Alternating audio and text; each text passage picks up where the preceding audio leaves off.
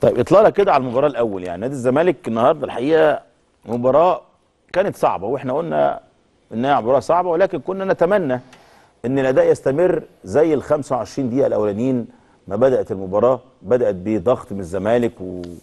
وفوقان وبعد كده سرعان ما تلاشى كل هذا وبدأت الأمور آه، يعني آه، تروح للترجي شيئا فشيئا حتى انتهى الشوط الأول 1-0 ثم الشوط الثاني هدف ثاني وانتهت المباراه 2-0 مصطفى شافي كابتن طبعا هو يوم حزين لجمهور نادي الزمالك ويوم حزين للكرة المصرية يوم حزين لجمهور الزمالك بصفة خاصة علشان الزمالك آه، بيأدي أداء غير مقنع والله هو حزين الكره المصرية ما هو الأهلي تعادل برضه ما يعتبر التعادل خسارة. يعني والمنتخب الشباب. والشباب آه فالزمالك. النهارده كان في مسألة حياة أو موت الزمالك كان ممكن يعمل نتيجة كويسه آه كان ممكن يعمل نتيجة كويسه كان ممكن يقدم قد- يع- يعود بنقطة من الترجي من ملعب رادس آه كان ممكن. مم. آه كان ممكن لو هناك في روح قتالية هناك في إصرار هناك يكون في عزيمة عند اللعيبة. في تشكيل صح وقراءة صح للفريق المنافس. كابتن انت حضرتك مدير فني كبير. أي مدير فني قبل يروح مو- مواجهة بيجيب الفريق المنافس بيقراه بالتفصيل بيحطه تحت الملاحظة.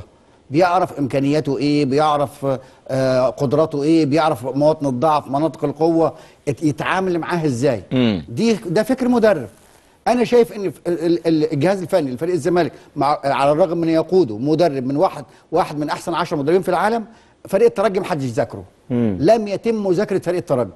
فريق الترجي اللي فيه محمد بن رمضان وفي الهوني وفي مجموعة من اللعيبة اللي عندهم إمكانيات. البدري. أنيس البدري. أنيس البدري هو صاحب الهدف الأول. صحيح. ماشي. آه, آه الهدف الأول فيه خطأ من عواد. يتحمله عواد. ما نقدرش نقول ما يتحملوش. والدفاع أيضا. فأنت بت... لازم كان يقرأ فريق الترجي بشكل جيد مذاكرة بشكل جيد ونقدر نتعامل معاه. كمان التشكيل كمان أختار عناصر تساعدني على تحقيق الهدف. تحقيق الهدف هي إما فوز يا إما تعادل. انت في ماتشات لعبت بيه غيرت فيه التشكيل حققت نتائج وأداء رائع زي ماتش سموحة. وحضرتك اتكلمت في الموضوع ده. صحيح. خط النص فيه سيف جعفر مع آه، مع دونجا. عبد الشافي مستمر حتى نهاية المباراة. نيمار موجود. قدرت تقدم تشكيلة. حطيت إيدك عليها تقدم اللي تحقق الهدف اللي انت بتلعب عشانه.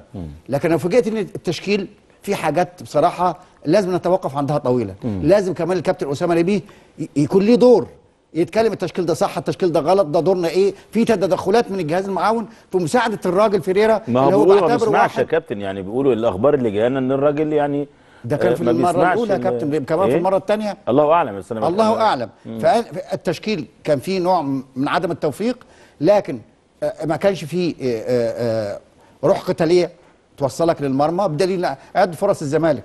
الدقيقة 2 أو الدقيقة 3 كانت فرصة لزيزو في العارضه اللي حولها آه، معز بن شرفية لضربة ركنية. صحيح. بعد كده ال- الهجوم كان على استحياء. آه كان لازم يبقى في دعم ويبقى في مساندة ويبقى خط النص ده قوي لأن السيطرة على منطقة وسط الملعب هي السيطرة على الملعب. تبقى أنت صاحب الكورة.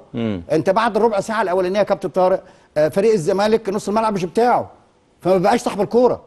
بقى اللعب اجتهادي.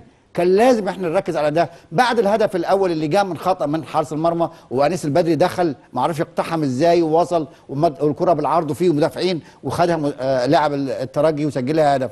كان يجب أن يتدخل فورا الجهاز الفني.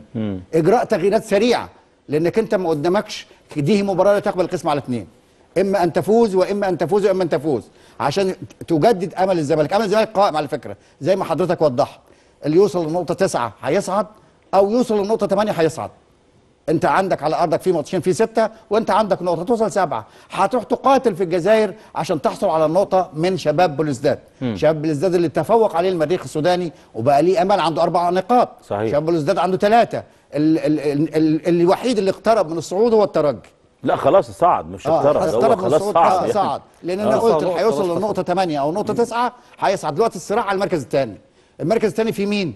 في المريخ وبولزداد و ثلاثة. فرصهم موجودة على وقت فرصهم موجودة بالظبط في الصعود. فالزمالك عنده ست نقاط على أرضه وعنده نقطة بره يجيبها من شباب بلوزداد ويكون أفضل وأحسن لو جاب النقطة ولو كسبنا بلوزداد. هناك وكسبنا ماتشين عندنا صعدنا. صعدنا. ماشي؟ بونت لكن. الأداء يا كابتن طارق غير مقنع. انت ده ده الزمالك مدرسة الفن والهندسة. جمهور الزمالك زعلان آه من حقه يزعل.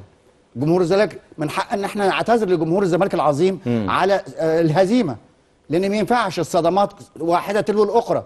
الزمالك زعلان من ماتش للتاني. يعني آه بفعل فعل آه، آه، الزمالك خسر من بولز آه، شباب بولزداد وتعادل مع المريخ وده تعادل مقبول عشان خارج الأرض. وعلى الرغم إن كان ليك ضربة جزاء وما اتحسبتش. لكن أنت النهارده ما قدمتش ما تحافظ بيه على النتيجة وتعود وتعود إلى ال- ال- إلى القاهرة وأنت معاك نقطة على الأقل في حصلتك تقدر تراهن عليها في مرحلة الصعود.